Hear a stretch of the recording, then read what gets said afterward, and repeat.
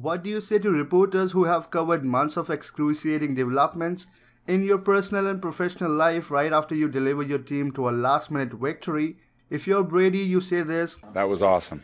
That was fucking awesome. The Tampa Bay Buccaneers quarterback had barely settled into the press room on Sunday when he uttered those words Forgive his NSFW sentiment. The guy has had a rotten season and he just got a reprieve from the rottenness. The seven time Super Bowl winner finalized his divorce and endured a three game losing streak for the first time in 20 years. He's been snapping at his teammates and computer tablets. But on Sunday against the defending Super Bowl champions, the Los Angeles Rams in Tampa Bay, Brady was his old self, trailing 13 to 9 with 44 seconds remaining and no timeouts. He directed a six play, 60 yard touchdown drive to will the Buccaneers to a 16 13 victory.